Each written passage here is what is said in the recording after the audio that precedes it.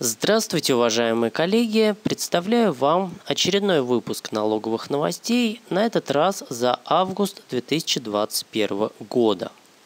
Представляет выпуск Юзвак Максим Васильевич, перед вами слайд с информацией обо мне. Что касается плана настоящего выпуска, то сначала я предлагаю рассмотреть налоговые законопроекты, которые поступили в Государственную Думу – ну а в качестве центральной темы настоящего выпуска я предлагаю рассмотреть проблему приостановления операций по счетам. Итак, что касается налоговых законопроектов, то несмотря на то, что Государственная Дума находится на каникулах, тем не менее налоговые законопроекты поступали и в августе. При этом все законопроекты можно разделить на две группы. Первую группу законопроектов составляет те, которые имеют определенные шансы на одобрение, ну а вторую группу законопроектов, понятно, что представляют законопроекты, которые вряд ли будут поддержаны. При этом здесь следует заметить, что, скорее всего, законопроекты, входящие во вторую группу, подавались в рамках избирательной кампании. Итак, что касается первой группы законопроектов, то туда входят правительственные инициативы. В данном случае первый законопроект предлагает упростить порядок подтверждения нулевой ставки по НДС. Поправки касаются прежде всего услуг, связанных с перевозкой водным транспортом, ну и предлагается упразднить необходимость отметок таможенных органов – так, поправки предлагают упразднить упоминание, отметки, погрузка разрешена. Ну и также там вносятся иные технические поправки. Следующий правительственный законопроект также носит по большей части технический характер, поскольку в налоговом кодексе в различных его нормах изменяется терминология. Изменения касаются прежде всего лицензионной терминологии, поскольку меняется вообще концепция лицензирования, и если раньше факт лицензирования подтверждался бумажным документом, то сейчас такой факт подтверждается записью в тех либо иных реестрах. И исходя из этого и меняется терминология в налоговом кодексе. Далее переходим ко второй группе законопроектов. Вообще следует заметить, что все эти законопроекты подавались представителями одной партии. В данном случае речь идет о ЛДПР.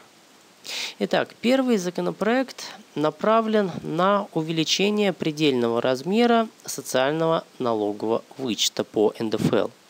То есть в данном случае предлагается расширить возможности учета в налоговой базе расходов связанных с лечением, с обучением, ну и с другими социально важными расходами.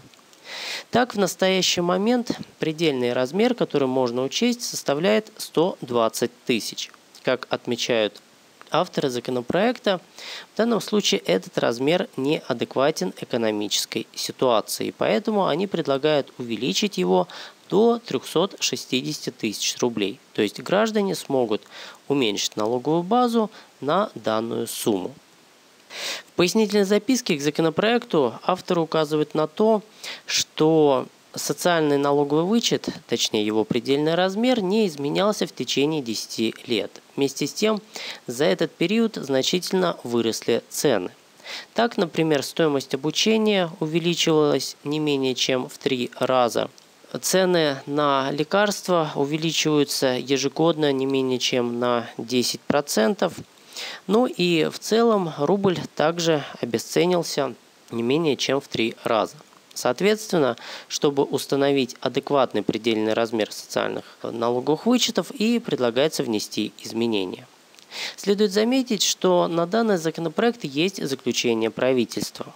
Правительство указывает на то, что данные поправки приведут к потерям бюджета. При этом авторы законопроекта не указывают, за счет каких источников компенсировать данные потери.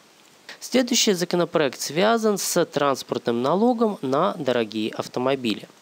Законопроектом, по сути дела, предлагается ограничить возможности повышенного обложения транспортным налогом роскошных автомобилей.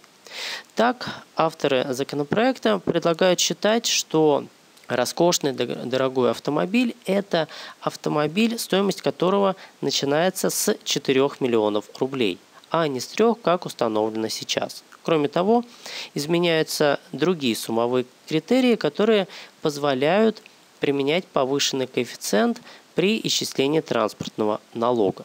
В пояснительной записке к законопроекту автор указывает на то, что к настоящему моменту значительно а, выросли цены на автомобили. И, соответственно, нельзя считать, что автомобиль стоимостью 3 миллиона рублей является роскошным, дорогим. И, значит, его повышенное налогообложение, оно не обосновано. Опять же, к этому законопроекту есть заключение правительства, и правительство указывает на то, что и этот законопроект приведет к потерям бюджета, но при этом авторы не указывают за счет каких источников погашать, ну точнее компенсировать данные потери. Следующий законопроект связан с льготами в отношении многодетных родителей. Так предлагается прямо установить, что льгота по налогу на имущество распространяется на налогоплательщиков, которые имеют три и более детей. Но эта льгота будет заключаться в том, что будут освобождаться те или иные объекты недвижимости от налога. В пояснительной записке к законопроекту автор, это представитель от ЛДПР, указывает на то, что, например, льготы для многодетных родителей установлены в главе, которая регулирует земельный налог. А вот в главе о налоге на имущество физических лиц такой льготы нет. Автор считает такое регулирование непоследовательным и считает, что необходимо расширить льготное положение в отношении многодетных родителей. Следует заметить, опять же, что на данный законопроект правительство подготовило свое заключение. Во-первых, правительство указывает на то, что глава о налоге на имущество для физических лиц, она уже содержит льготные положения в отношении многодетных родителей. Так, налоговая база может уменьшаться на стоимость 5 либо 7 квадратных метров на каждого ребенка – которые есть у многодетных родителей. Также правительство указывает на то, что законопроект приведет к значительным потерям бюджета. Однако автор законопроекта не указывает и не приводит источники, за счет которых компенсировать данные потери. Наконец, по мнению правительства, соответствующие льготы могут по своему усмотрению вводить местные органы власти. Так, ну и в самый последний день августа в Государственную Думу поступил законопроект, связанный с тарифами по страховым взносам. Так предлагается установить льготные тарифы по страховым взносам в отношении организаций инвалидов. Так, например, тариф на обязательное пенсионное страхование составит 10%, на обязательное медицинское страхование 5%. Ну а в отношении обязательного социального страхования предлагается установить нулевую ставку. В пояснительной записке какого-то серьезного обоснования авторы не приводят. Так, ну о налоговых законопроектах все.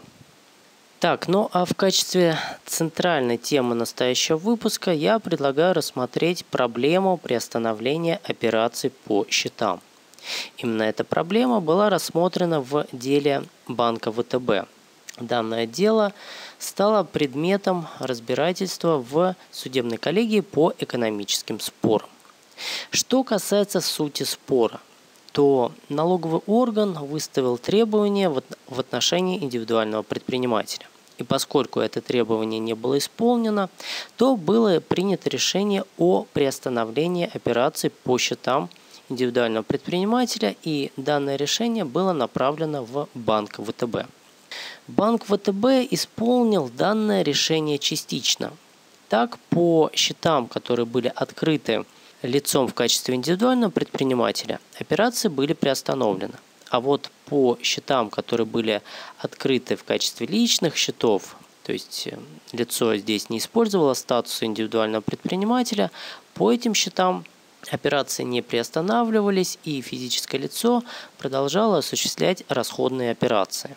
Налоговый орган посчитал, что в такой ситуации банк нарушил требования налогового законодательства, и в этой связи банк был привлечен к ответственности по статье 134 Налогового кодекса. Понятно, что банк с таким решением не согласился и обратился в суд. Нижестоящие суды поддержали налоговый орган и было указано о том, что статья 76 Налогового кодекса содержит прямое указание на возможность приостановления операций по счетам индивидуального предпринимателя.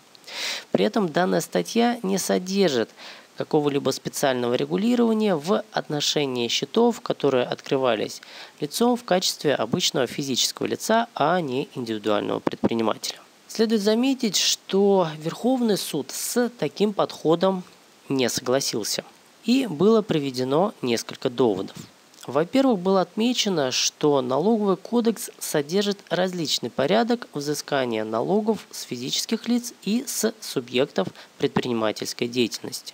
При этом Верховный суд подчеркивает, что это различие носит принципиальный характер. Так, налоговый кодекс не предусматривает внесудебного порядка взыскания в отношении обычных физических лиц.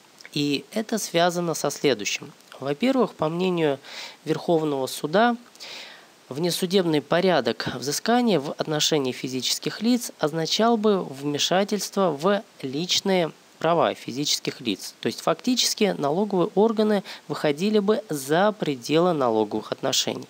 При этом при таком вмешательстве нарушались бы личные права, например, связанные с обеспечением жизнедеятельности, обычных таких житейских потребностей как самого физического лица, так и его родных и близких. Кроме того, Верховный суд обращает внимание, что налоговый кодекс не содержит гарантий прав физического лица. Но в данном случае речь идет об этих личных правах. То есть в данном случае, например, налоговый кодекс не допускает возможности хотя бы частично расходовать средства, которые находятся на счетах в целях удовлетворения личных потребностей физического лица. При этом такие гарантии содержатся, например, в рамках исполнительного производства. Кроме того, Верховный суд делает важную оговорку, ремарку о том, что в том случае, если денежные средства от предпринимательской деятельности поступают на личный счет предпринимателя, то и в этом случае у налоговых органов не появляется возможности ограничивать операции по этим личным счетам. Таким образом, Верховный суд сформулировал достаточно четкую позицию, которая защищает права физических лиц и не допускает возможность осуществления принудительного взыскания с физических лиц во внесудебном порядке. Ну, здесь опять же следует оговориться, что речь идет о счетах, которые открыты физическими лицами не в качестве индивидуальных предпринимателей. Безусловно, данную позицию Верховного суда необходимо взять на вооружение физическим лицам для защиты своих интересов. А на этом все. Спасибо за внимание. До скорых встреч!